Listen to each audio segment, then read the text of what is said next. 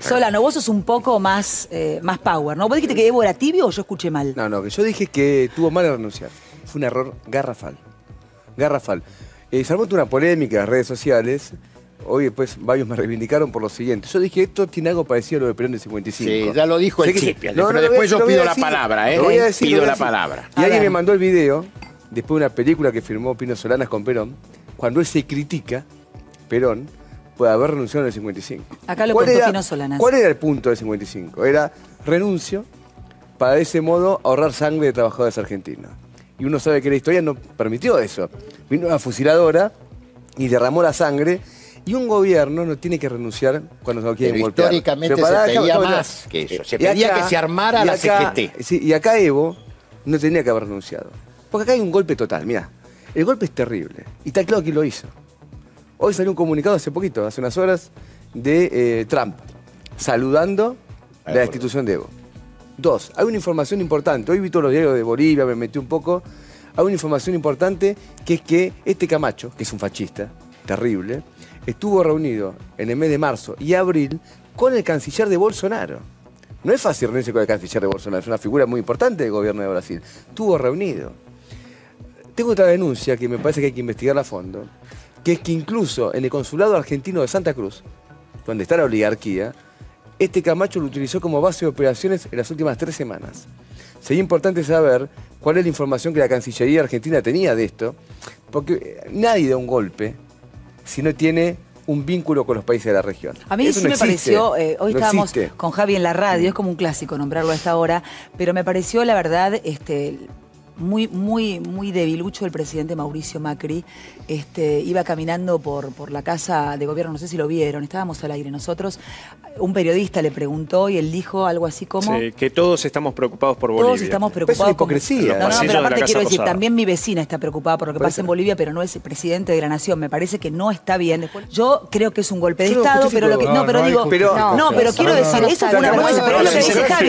Me parece que ahí, empezó, Raúl. ahí Raúl, empezó sí se lo- todo. No, vos no, vos no, pero se lo justifica. La gente salió a la Se lo calle. Porque hay gente que, hay gente no le molesta que haya dictadores que se terminen en el poder. la democracia. Hay gente que no le molesta Pero eso, que lo ven no bien. entiende la democracia. A ver. Solano No. dice, Solano dice, eh, eh, se equivoca Evo Morales al, al renunciar. Yo creo que no se equivoca.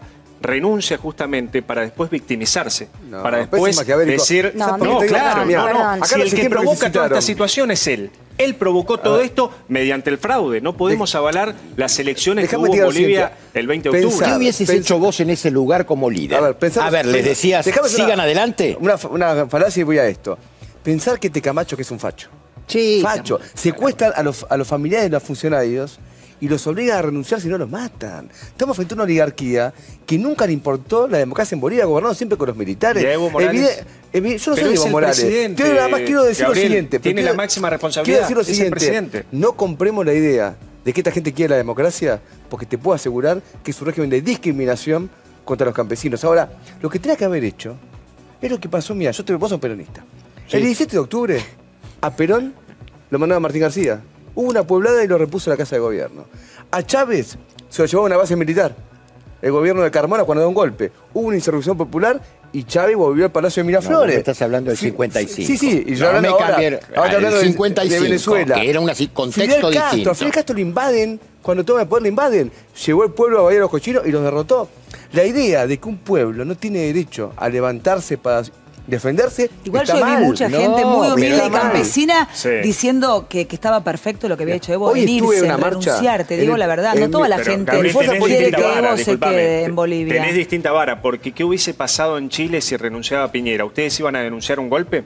Como lo están haciendo Pero ahora en Bolivia. Pero no me compares, Piñera. Se renunciaba a Piñera. Pero, ¿sabes le, qué le pasa? exigían la renuncia no- a Piñera. ¿eh? tu Pero ¿Qué iban a Acá decir? no, Romina, las acá Romina del Fuerzas Plan dijo el Armadas. otro Yo día fui con fuera Romina, Piñera. tiene que ir Por Piñera. eso fueron juntos con Romina del fuera Piñera. Armadas. ¿Por qué pierde? Porque ponemos el foco en las Fuerzas Armadas, pero Evo Morales pierde también el apoyo de la Iglesia, de los sindicatos, de la policía que se amotinó en rechazo a la orden de reprimir.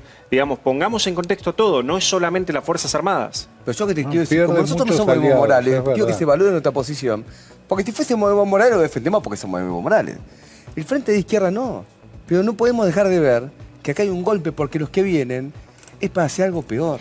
¿Cómo afecta a haber elecciones ahora. ¿Quiénes, qui- qui- quién ¿Quién van, la va quiénes a van a ser los candidatos? Aparte, si hay elecciones, ¿se presentan todos? Pero ¿quiénes van a ser los Mañana- candidatos? Eh, ahí, ahí vamos ¿Quién viendo, ahí vamos viendo No sé, entonces ¿quién el se presenta? ¿Lo van a dejar presentar a Evo No, Morales? no se No, puede no, presentar obviamente Evo no. Mañana, Morales, obviamente mañana que no. le aceptan la renuncia a la Asamblea, le aceptan la renuncia a Evo Morales. Evo Morales en los hechos sigue siendo el presidente de Bolivia por, Por más que se está haciendo el país. aceptaron. Porque todavía no está aceptada la renuncia. Mañana se la aceptan y van a convocar, dicen, para el 22 de enero ¿Con a elecciones. quién? Sin Evo Morales, por supuesto. Ah, bueno.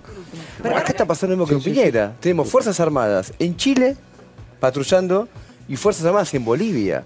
Entonces, a mí me parece importante que registremos esto. Pero ¿cuál vos tenés Fuerzas Armadas actuando? ¿Para qué? Acá hay intereses sociales. Ellos lo que quieren hacer, acá se hablaba de la crisis económica y todo, es cómo se le aplica al pueblo chileno, al pueblo boliviano, al pueblo argentino ¿Por también. qué pasa esto ahora?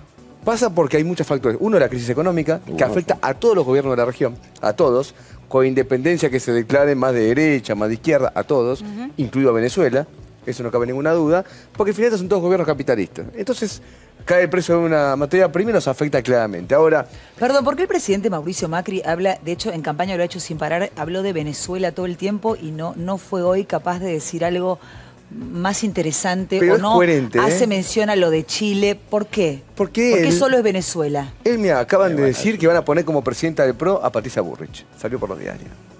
Entonces, ¿qué quieren hacer? Una especie de bolsonarismo local.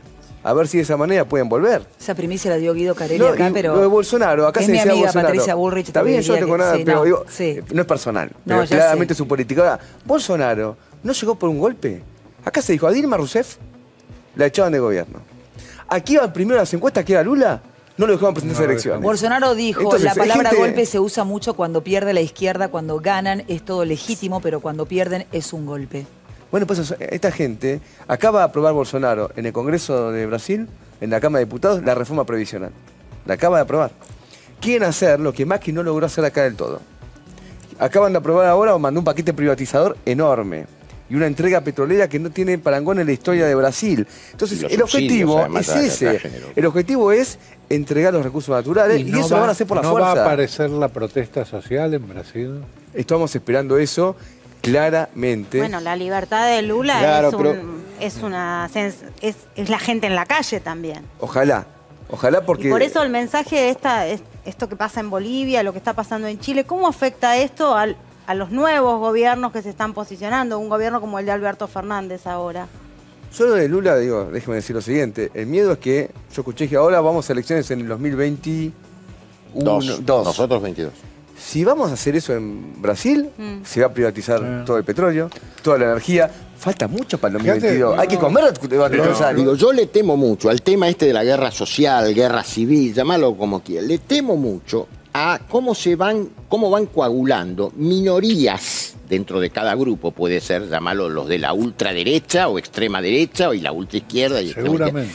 Se van coagulando situaciones que llevan a un fanatismo y de ahí se puede dar, qué sé yo, la configuración de los, lo- la, mm, ¿cómo se llaman? Los escuadrones de la muerte, todo ese tipo de cosas que... Bueno, entonces digo, hay que que no tener autoridad en cuidado. este Hay que, momento. eh, No eso es que que- No, no, hablo, hablo también de mí. ¿Eh? ¿Puede ser cosa de la guerra civil? Sí, Porque por yo favor. quiero ser claro acá. ¿Qué pretenden que haga el pueblo boliviano ahora? ¿Que se queden en la casa a ver cómo se consume un golpe de Estado? No. Yo creo que un pueblo que se levanta frente a eso, lo tenemos que apoyar. Está bien. Para mí... Con Pero organización. Gabriel, no, se en- que últimas tres semanas se levantaron contra Evo. ¿Cómo? Se levantaron contra Evo en las últimas tres semanas. Hubo el elecciones, hubo elecciones. Por más que ustedes se arrogan la representación No, yo no arrogo nada, yo no soy Evo Morales, pero admitamos que Evo Morales adulteró eh, ese porcentaje final cuando se cortó la luz, no sé cómo fue. Está claro que salió primero, eso está fuera de duda. De la elección Hizo que se hizo... trampa, Gabriel, no podemos a ver, a ver, a ver. eso. De la elección que se realizó, él salió primero. ¿Por qué? ¿Siete puntos, ocho puntos? Ya, Ahora Altamente sospechoso. ¿Cómo? Altamente. No sospechoso. ganaban Perfecto. primera vuelta. No ganaron en primera Bueno, vuelta. Entonces, él agarra después, convoca elecciones. Le dicen que no. ¿Y Lo voltean. van a- a- a- Pero Pero, dice, pero ¿no te parece poco trampa. serio si un tipo Pero hizo no, trampa? a ver, siendo convocar a presidente. otra Pero vos te elección? No, pensaste, pero ¿a vos te parece? la O sea, me parece una chiquilidad la total. oligarquía de Santa Cruz fascista quiere democracia. Esto han gobernado con Banzer en la década del 70, matando a los campesinos y a los obreros. No nos confundamos cuando viene un grupo de delincuentes y fascistas a saquear un pueblo, que te hablan de democracia. Bolsonaro Pero, habló de democracia. ¿A vos y te parece que Evo quiere la democracia ¿Cómo? también? Desoyó un mandato popular desobedeciendo el referéndum. Yo te estoy diciendo ahora que lo que Eh, viene mal en acá, eso, lo que viene acá, ¿Qué hay más antidemocrático lo que, que eso? viene acá Desoyó un mandato Es popular. una guerra de esta oligarquía contra el pueblo de Bolivia. Un- Yo tengo mucha confianza en el pueblo boliviano. Y hoy la marcha que hubo muy importante en Argentina, muy importante, me parece que el pueblo argentino se sabe poner del lado justo. Y como ha pasado tantas veces, esta lucha no está perdida.